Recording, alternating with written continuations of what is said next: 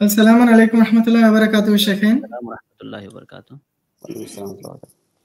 हाँ, जी शेख जब डॉक्टर के प्रिस्क्रिप्शन के बात पर कोई मुसलमान जब नाक में आँख में या कान में ड्रॉप्स डालता है शेख, तो वो थोड़ी देर बाद वो गले में उतरता है शेख। तो जब रोज़ा का हालत होता है, तो जब हम इसे लेते हैं और वो गले से उतर जाए तो फिर रोज़ा बरकरार रहेगा या फिर टूट जाएगा? जज़ाकल्लाह। जी। देखिए यूनुस भाई, इस मसले का ताल्लुक जो है मेडिकल साइंस से है।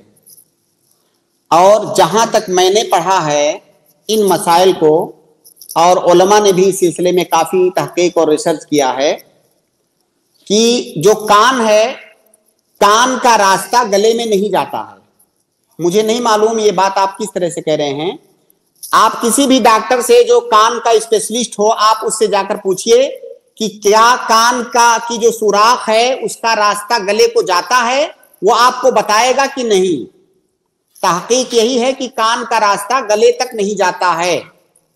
ठीक है? और रोजा टूटने के लिए किसी चीज़ का गले से उतरना ज़रूरी है, उसके बगैर रोजा नहीं टूटेगा। ठीक है? तो आप ये उसूल याद रखें कि गले से उतरना ज़रूरी है रोजा टूटने के लिए। अगर अगर कोई डॉक्टर तहकीक करके आपको बता देता है कि हाँ कान का रास्ता गले को जाता जबकि जो मुझे इल्म है कि डॉक्टरों की तहकीक ये है कि कान का रास्ता गले को नहीं जाता है। यही है। लेकिन अगर ये साबित हो जाए कि गले को जाता है तो रोजा टूट जाएगा। वरना असल यही है कि कान में ड्रॉप डालने से रोजा नहीं टूटता है। बाकी एक चीज़ हो सकती है कि कान में डालने से आप एहसास करें।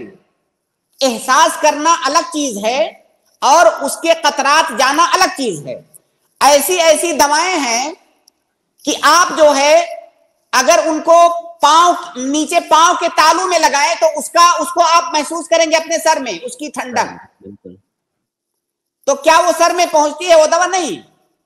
वो दवा नहीं पहुँचती है उसका असर पहुँचता है तो उससे जो है बहरहाल कान में ड्रॉप डालने से डॉक्टरों की तहकीक के मुताबिक चूँकि वो जाता नहीं है गले में इसलिए रोजा नहीं टूटेगा। जी जी। कान का नाक का तो जाता है शेख। नाक का तो नाक का बिल्कुल नाक का रास्ता गले को ही जाता है। जी जी। जी आँख और का आँख और कान का रास्ता गले को नहीं जाता है। जी फरमाइए यूनुस भाई जी क्या बोल रहे हैं? जी जी शेख तो अगर रोज़े के हालत में ऐसा हो कि नाक पूरा बंद हो और ड्रॉप लेना पड़े तो अ, अ, तो हम रोजा तोड़ तोड़ देना चाहिए या फिर डाल सकते हैं अगर गले में जाने की आ, देखिए देखिए यूनुस भाई ये डिपेंड करता है उस मरीज़ की हालत पर कि क्या अभी उसके लिए दवा लेना ज़रूरी है। अगर दवा नहीं लेगा तो उसके लिए बाईस मशक्कत है। अगर हकीकत में वो बाईस मशक्कत है तो खलास वो का, कान में सॉरी नाक में दवा डाल ले रोजा तोड़ दे बाद में रोजा रखेगा।